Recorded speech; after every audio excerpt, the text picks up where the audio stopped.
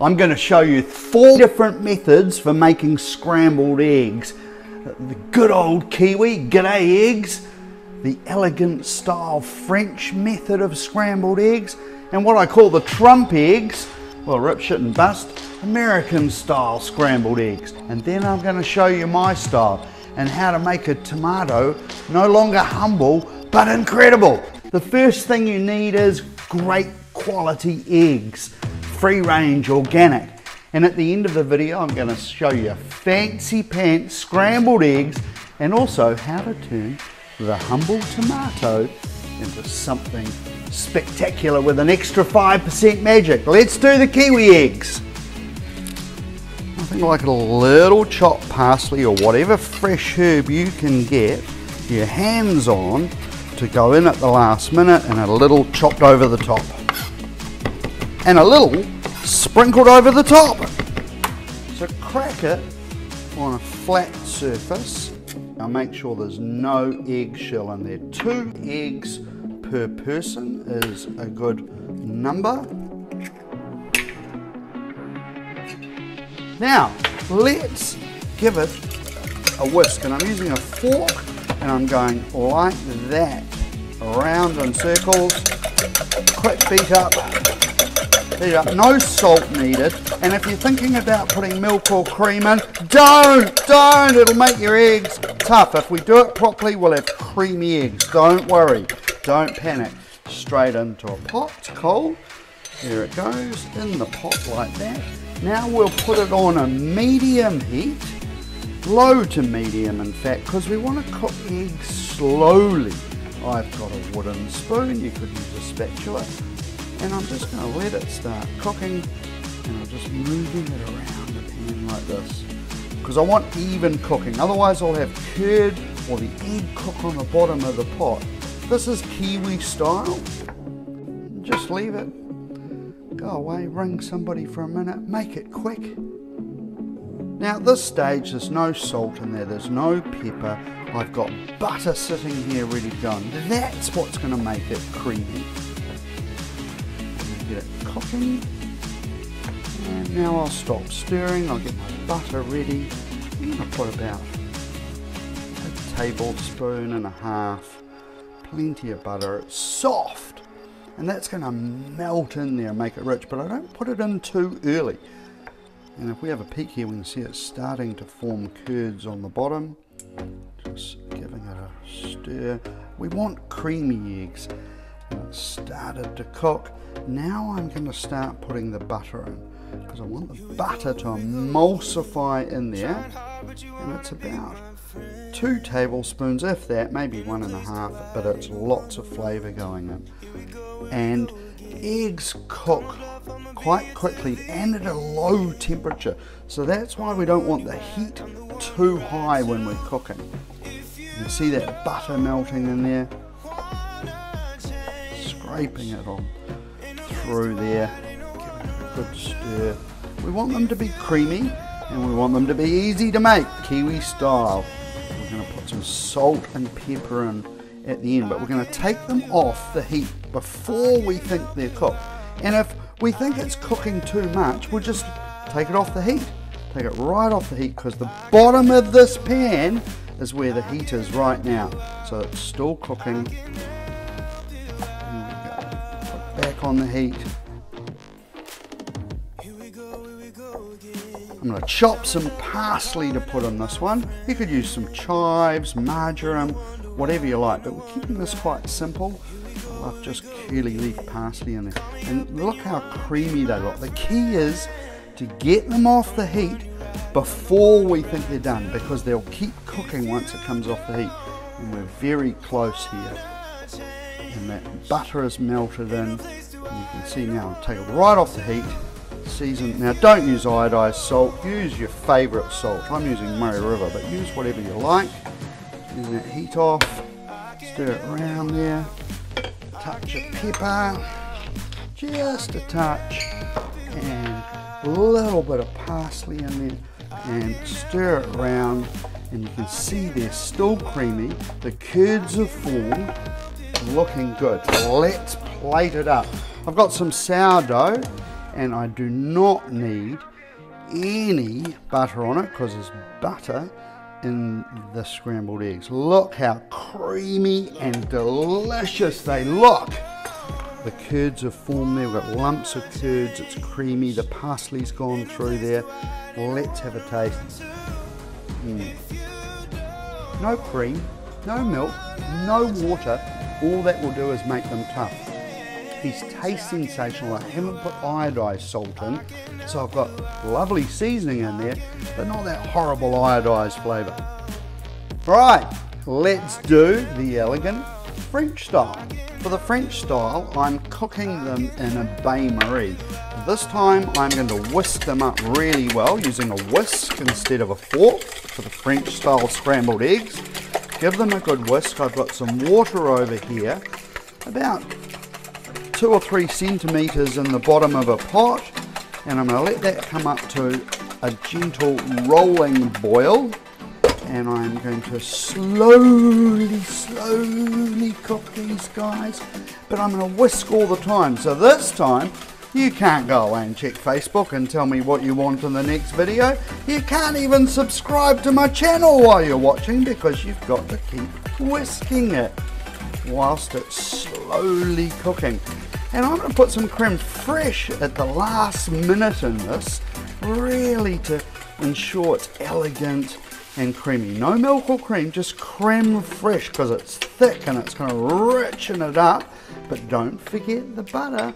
The butter is going in and that's going to melt whilst we cook the onions, emulsify in there. So this time we're not looking for curds of egg, we're looking for this elegant, creamy style scrambled eggs. Mixing it up here. But eventually, in about a total of about six minutes it will take, and we'll have these delicious, creamy, French style scrambled eggs. See that the butter's just about all melted in there. Not quite, but it's not far away. It's bubbling away there again. Plenty of steam on the bottom of that bowl. You can use a glass bowl. I've got a stainless steel bowl here. And I've got some chives out of the garden that I'm going to chop up and I'm going to put those in at the last minute. Not too early, otherwise the flavour goes through with the scrambled eggs. I want them to be little bites of chives in there at the end. Now you can see it's really starting to cook there. It happens quite quickly, so I'm going to turn that heat down a little bit on that water. So it's just ticking over. And I've got the creme fraiche, and the reason I haven't put it in is because when I put the creme fraiche in, it will stop the cooking because the creme fraiche is cold and it will heat up in there, but it will stop the eggs cooking. So I'll show you when to put that in. This style is super easy if you've got a lot of people coming for breakfast. We've been going about three minutes. I love this French style of doing scrambled eggs if I've got a lot of people coming for breakfast because it's really easy to do over a double boiler like this. Slowly starting to cook here. There we are, starting to thicken up there. A few little curds, but the curds are tiny and it's just going to be a real technique of getting it off. See how it's really starting to cook. Lift it off the heat now and let's keep mixing it just rather than leaving it in there and it's as creamy as all get out. Look at it. Want creamy, creamy, creamy and just it's to need a fraction more right, probably not even another 30 seconds. So depending on how many eggs you're doing and how hard the water is boiling, you're looking at anywhere from four to six minutes to have it all done. They are creamy. Let's get the creme fraiche in, which will stop the cooking as I mix that in and become really creamy. See how it's just made them creamy? Some chopped chives in there. A little touch of pepper. A little touch of Murray River salt. Mix that up and I can have a little taste just to check the seasoning. Mm. Oh, so creamy. And if you're one of these people that normally puts milk or cream into your scrambled eggs, I promise you, you're going to just love, love, love having the creme fraiche in there. Just oozes over the plate. Happy days. This is probably my favorite because it is just so creamy. The bursts of chive in there, but look at it, it's just cre silky, creamy, cooked. And the creme fraiche in there adds another dimension, not like adding cream or milk. Doesn't make the eggs tough, just makes it creamy and delicious. There you go, elegant French. Let's check out my trump eggs. For the trump eggs, I'm gonna do it in a pan. Don't even need a non-stick pan. It's a bit naughty calling them trump eggs, but I figure we're not gonna forget trump in a while, but American style eggs, I'm whisking them up in a bowl. They're gonna go into a cold pan. Check it out, not using a non-stick pan. There we go, and it goes. I'm going to season them with salt now butter is going to go in now. And now I will turn the heat on. And again, you don't want a super hot pan to cook these in. It's reasonably slowly catch the monkey. And I'm going to have a spatula this time. And we're just waiting for it to start to cook on the bottom. Look, I'm holding the spatula with my fingers down here so I get really good control. And it's just going to be a case of doing that and that. But you wait until the curd starts forming on the bottom of the pan. And this way we'll get it layered and we'll shiny and still creamy egg and that butter will melt in there. You see? And the raw egg comes in and covers where you pull it away.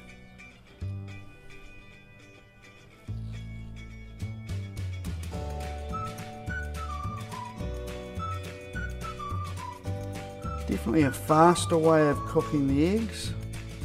You can see the butter's starting to melt there.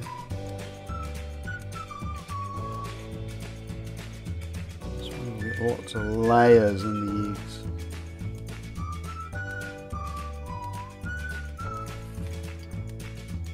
I'm using an induction cooktop so it's pretty quick.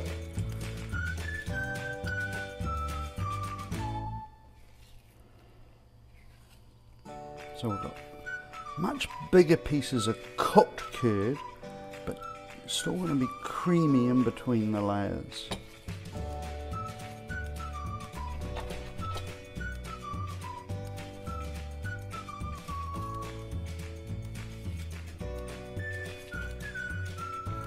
Now, that's enough. It's ready. Where's with eggs, you've got to really get them off before you think they're really sort of cooked.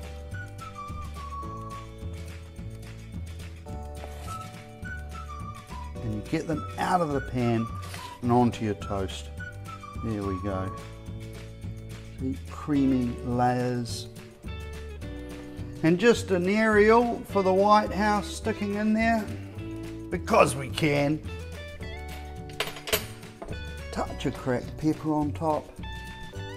Look at that, creamy and absolutely delicious. Layered American style eggs, diner style eggs really.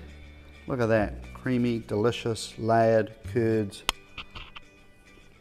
Mm. Now I'll show you my fancy pants eggs, and how to make tomatoes rockstar. If you'd stayed the night and I was out to impress you for breakfast in bed, not that I haven't already impressed you, this is what I'd cook you and deliver it to you in bed.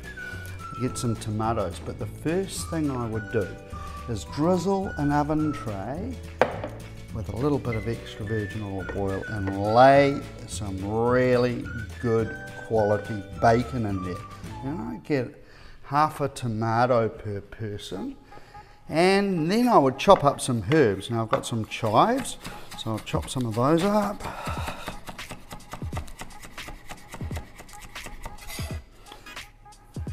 those, they're going to go into the scrambled eggs. And then I get some marjoram or whatever, maybe some thyme, whatever I've got in the garden, and a little bit of parsley. And I'll chop it up. And I've even got a parsley, a chive flower there, which I'm going to use. Oh, smell those herbs already you'll be lying on bed going, hurry up, serve me breakfast. Chop them up really fine. You could do this the night before, be organised, so you can spend longer in bed in the morning. There we go. Now, a little sprinkling on top because we don't just want a boring old tomato. It's what most restaurants do, right? Plenty of herbs on there, some extra virgin olive oil, and don't be shy. A drizzle of caramelized balsamic on top, a sprinkling of smoked paprika because it'll be that little, what is that on there? Now crunch some Murray River salt on the top into the oven at 190 degrees C and let the tomato really cook down, the bacon cooked. Now we've got some herbs left over and there, and I've got my chive flower. We'll come over here. I've got my eggs ready. I've got some creme fraiche. That's going to be the key. Now, this is my version of doing it, but we are not going to do it in a double boiler like we do the French eggs, but I'm going to whisk these up really well because I don't want you to see bits of cooked egg white in there. That's why I'm mixing it up. I really believe it makes a difference by really mixing it up well. There we go, into a cold pan, cold pot even I'll call it. Some butter goes in. Now I'm all ready, I'll wait until the tomatoes are just about cooked. Got four eggs in there, I've whisked them up with the fork, I've put some butter in there and now I'm just going to keep whisking it with a, well not whisking it, stirring it with a wooden spoon. And I don't have the heat too high, I've got it low to medium. And I'm just going to keep stirring. So I'm kind of getting a cross between Kiwi style and the elegant French style, but I'm hoping mine is going to be even more elegant and creamy. The key here is to keep mixing with a wooden spoon and get to all the base of the pot so cover the whole area so the egg doesn't get a chance to sit on the bottom and form big curds. I want to mix it quite quickly and not go away and leave it.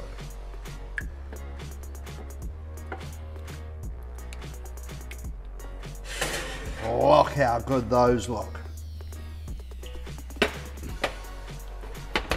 And I can just take the pot off the heat every now and again but see starting to cook there and the key will be to take it off before I think they're done take them off early you can always put them back on the heat and I'm still mixing starting to cook there but I don't have any big pieces of curd I'm gonna have this creamy creamy creamy scrambled egg So we're not far away here. I've got the salt ready, which is to go in now because it's starting to cook. Just a little bit of salt in there. You can see it's starting to cook there, so take it off the heat, lift it off because there's still residual heat in the bottom of that pot that's cooking. Back on the heat. Oh, a little grind of black pepper in there, just a touch. Lift it up again off the heat.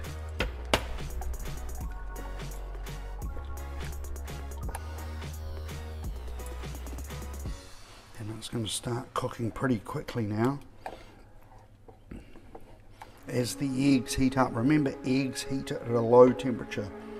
And if you think you're going to make something creamy by putting milk or water or cream in there, think again. It's all about the cooking technique that gets your eggs creamy. See, the curds are starting to form there.